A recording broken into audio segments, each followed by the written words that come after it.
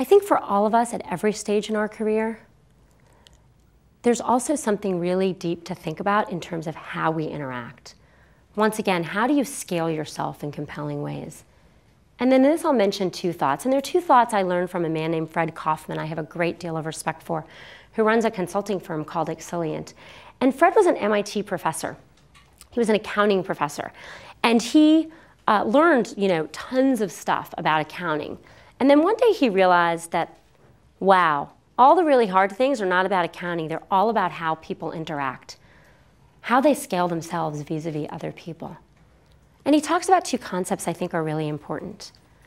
And the first is authentic communication, and the second is what he calls being a player, not a victim. If you have children, and I do now, you note, you actually learn from them almost how dishonest every adults are all the time.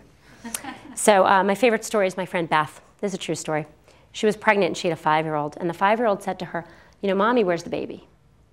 She was like, oh, the baby's in my tummy. He was like, mommy, like, where's the baby? She's like, well, the baby's in my tummy. Like, well, mommy, aren't the baby's arms in your arms and the baby's legs in your legs and all that? And she was like, no, no, the whole baby's in my tummy. And then, you know, her five-year-old looked at her and said, then mommy, what's growing in your butt? and kids are really honest. I mean, my four year old will be like, Mommy, that's an ugly shirt. Or, Mommy, I don't like that story. And as we get older, polite society teaches us to have better manners. And we don't walk around telling pregnant women that their butts look big. Please learn that lesson. I'm not suggesting that. And we don't walk around just blunting out the blunt truth, but we're more polite. But you have to ask yourself if you're in a group, whether it's a friend group or a family circle or in a business that you're trying to lead as an entrepreneur, how do you get to the truth? How do you make great decisions when no one's saying the truth? How do you communicate authentically? How do you figure out what to say and what not to say in a way that's authentic? And what Fred says, and I really believe this is true, is it starts from the fundamental understanding that there is no truth. There's my truth, there's your truth, that everything is subjective. And so if you always start from the position of, this is what I believe, I don't expect you to believe it, I don't think you have to believe it, I'm not saying it's true, you can actually always communicate authentically. Because if you walk in the room and this gets worse as you get more senior, here's the answer, you're not giving anyone else any room to say anything. And if you walk in the room and say, I believe this for this reason, what do you believe? If you share your truth in that language, you give people room to authenticate, to communicate authentically.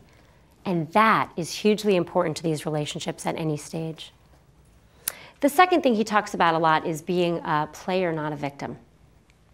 And if you listen, you realize once again to children or to others that children speak in a passive voice when something they don't like happens. Mommy, the toy broke. Interesting.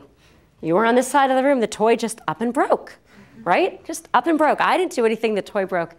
That same person comes to work, the project didn't get finished. Shocking. The project didn't finish itself, right? How often do people use the passive voice? Now, there is no such thing as complete control. Nothing. No one has complete control in any situation. People that leading organizations in some ways have less because not only do they have to control what they do, they have to help persuade everyone else what they do. But, you know, if you are able to take responsibility, I'm not late because there was traffic. I'm late because I didn't leave early enough to account for the fact that there was traffic.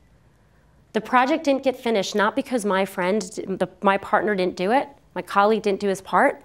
The, the project didn't get finished because I didn't set up a team where my colleague wanted to do his part.